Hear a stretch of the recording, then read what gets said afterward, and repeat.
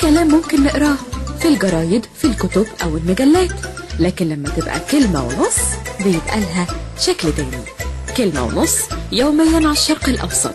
مع الدكتور عمرو الليسي أعزائي المستمعين يومكم سعيد وزي اللبن الحليب. ومعكم عمرو الليسي وكلمة ونص ولما اتكلمت عن الاختراعات والمخترعين وإننا محتاجين جهة أو جهات تساهم في دراسة واختبار هذه الاختراعات وتحدد اللي ينفع واللي ما ينفعش جات لي رسائل وتعليقات بعضها بتصور إننا بنهاجم الاختراعات.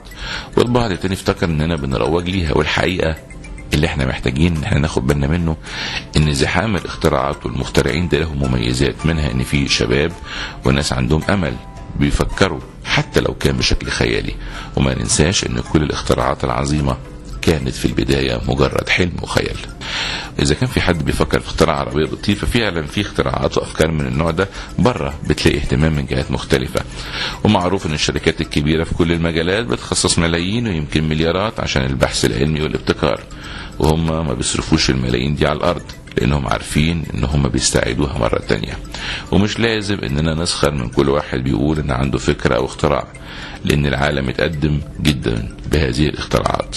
وكل المخترعين الكبار في العالم ما كانوش نجوم في زمانهم وبعضهم أو كلهم واجهوا في البداية السخرية والاتهامات. كل اللي إحنا عاوزينه يا سادة يا كرام زي ما قال لي أحد الخبراء في التنمية إن يكون عندنا جهات بتشجع التذوق والتفوق والابتكار وتقيمه وتحدد اللي ينفع منه وكمان لو الشركات ورجال الأعمال يعملوا ويدعموا جمعيات الابتكار أكيد الفايدة هتعود عليهم. ونتجاوز إننا طول الوقت مستهلكين اللي بينتجوا العالم مع إن الدول اتقدمت وسبقتنا كل اللي عملته إنها اهتمت بالتعليم.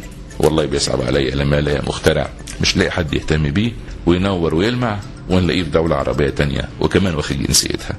يا ريت نحط ده في الاعتبار. إذا كنا بجد عايزين ندعم البحث العلمي والمخترعين. كان معاكم عمرو الليسي وكلمه ونص وبكرة كلمة ونص. كتبها أكرم القصاص أخرجها تامر حسني.